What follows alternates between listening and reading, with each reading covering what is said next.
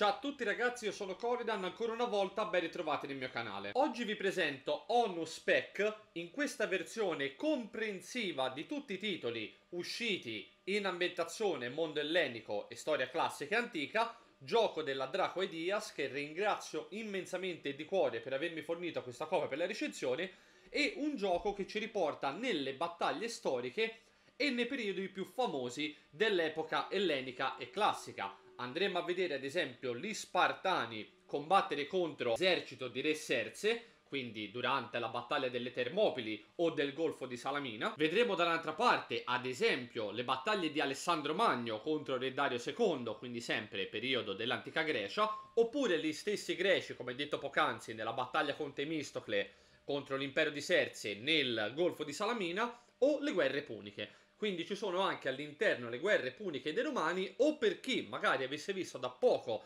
la serie televisiva capolavoro che io adoro, Spartacus, c'è anche la ribellione di Spartacus contro appunto le truppe romane per la libertà dei gladiatori, insomma, che erano insieme a lui.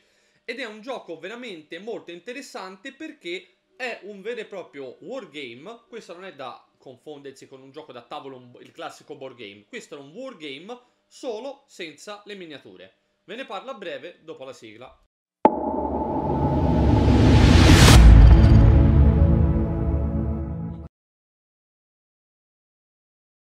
ONU Spec perché PEC? Perché è la versione comprensiva di tutti i titoli usciti in ambientazione classica a parte Traianus. Traianus è un altro titolo che è uscito successivamente.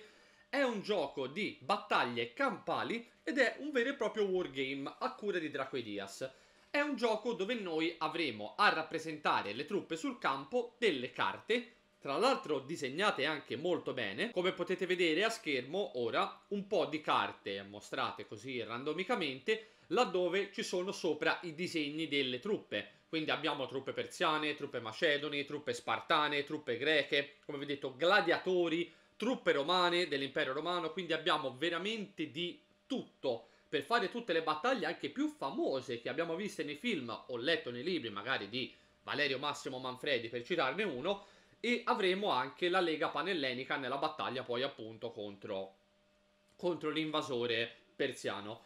E le carte come vedete sono riprodotte bene e ciascuna truppa è rappresentata da un disegno con i soldati visti dall'alto. Ovviamente ciascuna carta rappresenta nel caso dell'antica Roma, una centuria di legionari romani, quindi dovete interpretare ogni carta come se fossero 100 uomini, non soltanto quei pochi disegnati sopra, perché queste sono battaglie su larga scala, magari mettete 5 carte in campo, ma realmente sarebbero 500 uomini, più magari la cavalleria e le macchine d'assedio. Ciascuna carta, come anche la carta del generale che vedrete a breve, ha sopra tutte quante descritte le caratteristiche più in basso a destra dei simbolini di colore verde, blu o arancione che vanno a identificare le abilità speciali che hanno. Abilità speciali che si attivano solo in un dato momento, magari quando caricati o quando caricano, e abilità passive, che invece quelle sono sempre attive e sono proprie dell'unità. Abbiamo due valori di attacco, che sono il valore per colpire e il valore per ferire, ora poi a breve apro una piccola parentesi, e eh, la vita ovviamente dell'unità, la disciplina e anche abbiamo il valore per schivare il colpo e il valore d'armatura. È molto questo gioco Warhammer Fantasy, una delle prime edizioni, perché addirittura è un gioco dove si fa il tiro per ferire, cioè il tiro per colpire, il tiro per ferire, il tiro di rotta dell'unità, se sono riuscito a colpirti devo rifare un altro tiro per vedere se ti passo l'armatura e in più non si può misurare niente. A differenza del nuovo Warhammer 40.000, per fare un esempio, Star Wars Legion o anche semplicemente Warhammer Age of Sigmar, qui non si misura nulla. Prima dichiari quello che vuoi fare e dopo misuri. Quindi voglio caricare l'unità di pezzeteri che ho davanti con la falange eh, oplita, ad esempio. Carico, dichiaro la carica, ci arrivo con la misurazione. No, se non ci arrivi non puoi ovviamente caricare la truppa. Se no sarebbe troppo facile, è un gioco fortemente strategico. Quando si va a fare un combattimento c'è un mazzo di carte evento che i giocatori tra l'altro hanno anche in mano e ciascuna carta evento, come potete vedere a schermo, è divisa in una parte superiore e una inferiore. La parte superiore è una cosa attiva che, pote- che, potrebbe dare un bonus alla vostra truppa, magari se c'è il simbolo della spada quando attacca, se c'è il simbolo dello scudo quando difende, se c'è il simbolo del movimento, insomma, tanto è rappresentato tutto bene dei simboli, è molto descrittiva e esplicativa. Ma allo stesso tempo la parte sotto invece è una parte evento. Quindi quando si va a fare un qualsiasi tipo di combattimento, una carica, un corpo a corpo, un tiro con gli arcieri, si pesca sempre dal mazzo comune una carta evento, si mette in campo e si applica quello che c'è scritto sia applicabile. Perché magari è durante una fase di tiro e c'è scritto applicatela solo durante il corpo a corpo. In quel caso la scartate. Poi i giocatori a vicenda possono giocare uno, l'attaccante, o scusate, il difensore, una carta evento e l'attaccante a sua volta un'altra carta evento. Quindi le carte evento sono belline perché sono un po' come gli stratagemmi di Warhammer, Leviathan o Age of Sigmar, sono un po' come gli stratagemmi o anche mi viene in mente Heroes of Normandy che vanno magari a cambiare un po' la battaglia. Perché magari sei lì con un'unità che fa un po' schifo, passatemi i termini, caricato dalla cavalleria, fai oddio oddio, ora me la sfonda, ora me la distrugge, giri la carta evento giusta e magari quella truppa da un momento all'altro prende più 2 al tiro armatura oppure più 2 a schivare perché si sono corazzati con gli scudi e resistono alla carica. Quindi c'è anche quel discorso un po' di imprevisti che a me onestamente piace. Quando si va a fare un combattimento si muovono le truppe sempre davanti al massimo della velocità che hanno. Quindi se hanno un movimento di 2 si muovono di 10 perché ogni movimento sul righellino è di 5 pollici. Quindi si muoveranno ad esempio se hanno uno di movimento di 5, se hanno due di movimento di 10 e così via potrebbero anche avere un movimento di magari che li porterebbe a fare metà movimento e quindi invece di 5, 2,5 nel caso retrocedono, però unità si muovono sempre in linea retta, perché in un esercito è difficile vedere una truppa, tutte informazioni che si muovono di lato, vi immaginate il caos che ci sarebbe per muovere una truppa di lato, oppure semplicemente andare in diagonale. Lo possono fare, però si muoveranno a metà del movimento perché saranno più impacciati e più lenti. Un'unità si muove sempre dritta. Quando si arriva in corpo a corpo, con i valori che ci sono sulle carte, si va a fare il tiro e tira tutto l'attaccante, eh? mai il difensore, tutto l'attaccante, si fa il tiro per colpire, sono riusciti a superare il loro livello di dodge, ok, si fa, eh, entrano due colpi, di questi due colpi si tirano dadi, tra l'altro i dadi sono bellissimi, si fa il tiro per ferire, sono riuscito a passare il loro livello di armatura? Sì, ah, non dovete eguagliare o superare, lo dovete superare. Quindi se una truppa ha a livello armatura 5, voi dovete fare 6 o più per colpirla, non 5 o più. Dovete sempre superare il valore che c'è scritto sulla carta. Se li ferite mettete dei token ferita sulla carta e loro ovviamente contrattaccheranno. Alla fine del combattimento la truppa che avrà subito sì, la, la truppa, lo schieramento che avrà subito più danni, dovrà fare un check sul morale. Se lo fallisce diventa broken e ovviamente avrà dei malus. Se lo fallisce un'altra volta in futuro e già precedentemente erano broken, scappano. Quindi è molto semplice, cioè un giocatore di Warhammer non ci trova niente di strano ed è bellino che con delle freccette si possono estendere le formazioni per caricare e magari riuscire a circondare il nemico con la stessa carica, prenderlo sul fianco e già gli dai un malus e poi magari riuscire a cercarlo alle spalle e lo distrugge e gli dai più malus ancora. I generali danno un bonus. I generali non hanno una vera e propria carta truppa, ma sono un token, e quando li affidate a un'unità o nei dintorni, danno bonus a tutte le truppe. È molto semplice. In conclusione, questo Ono Spec è un gioco dove io onestamente ci stavo girando intorno già da un po' di tempo. Una partita dura in media una mezz'oretta e la scatola dà il gioco per 12 anni in su. Ora, l'età ci può stare, però secondo me non è un gioco da tutti, ma non per niente, i disegni dentro sono anche non sono truci, cattivi, sono disegni molto fumettosi, belli, però fumettosi ci stanno, lo rendono un pochino più bonario, per quanto si parla di guerre e di tutte le cose brutte che la guerra porta in tutte le epoche. Però è un gioco che ce n'ha un po' di regoline, eh, quindi non tantissime, però ci vuole un pochino per entrare nell'ottica.